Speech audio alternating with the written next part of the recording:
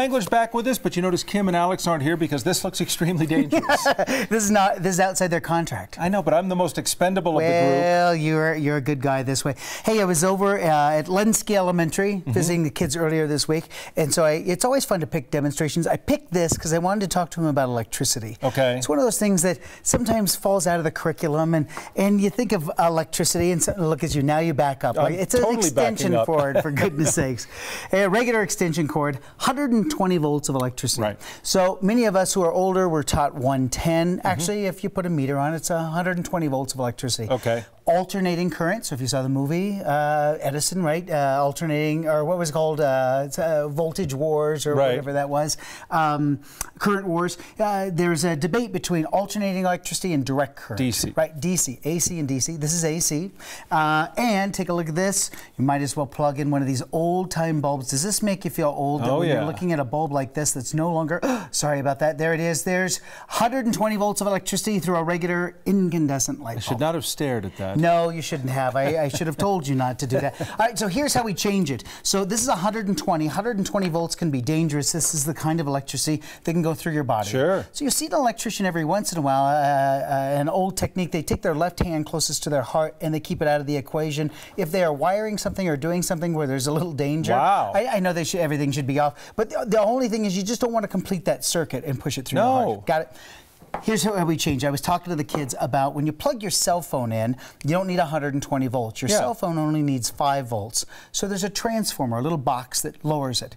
This is the opposite. This is a little this goes the other way. This, Great. This raises the electricity. This is 120 volts of electricity that turns into 50,000. Listen. 50. Hear it? Oh yeah. Uh, okay, but you can't can't really do anything with that. We need to see it. So why wouldn't you now fashion this Home Depot is just like Legos for adults. You just walk the aisles and and they're like, "Can we help you?" And you go, "Probably not," because here's the regular light bulb here. This goes in here like this. Right. And now, if uh, Chris, would you turn off the lights for us? Look at this. Watch this. This. Look oh, at this. wow. Fifty thousand volts electricity. All right, put the lights back on again so that Tom can actually see it. Tom, hand flat on top like this. Feel that. That's 50,000 volts of electricity. Very warm. Yeah, well, yeah. Oh, and yeah. you got a zap on the way zap. out. No, wait. Smell your hand.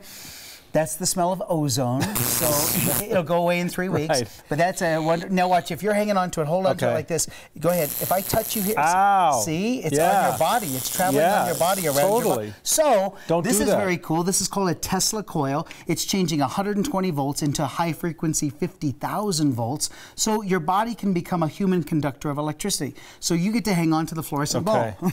Isn't this great? I'm going to be the. Okay. So, so, now watch this. I'm going to hang on here, and then you're going to put your hand on top, and I'm going to turn it on, and you're going to see what's going to happen. Ready? Will you dim the lights for us? Watch this.